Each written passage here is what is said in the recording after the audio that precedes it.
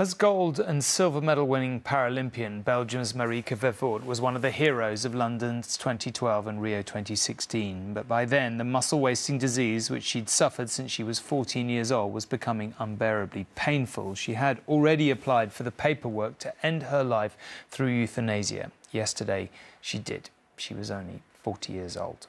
As one of the athletes blogging in her most joyful moments, her face belied the constant crippling pain she was really in. Marieke Vervoort defied all odds, winning gold and a silver at London's Paralympics in 2012.